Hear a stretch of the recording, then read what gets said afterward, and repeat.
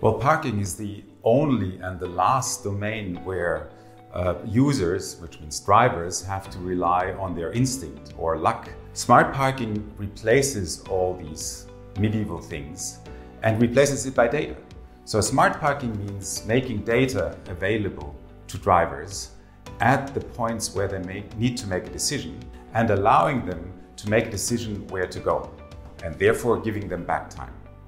Smart parking has a tremendous effect on our quality of life because it reduces emissions up to 30% in our cities. At a big shopping mall, for instance, people drive around the world once a day just searching for a parking space. We want to give time back to people. Time for shopping, time to go to the cinemas, time to be in the restaurants. When you look at all the other segments, if you book a plane, you look it up in the internet. Is there a seat available?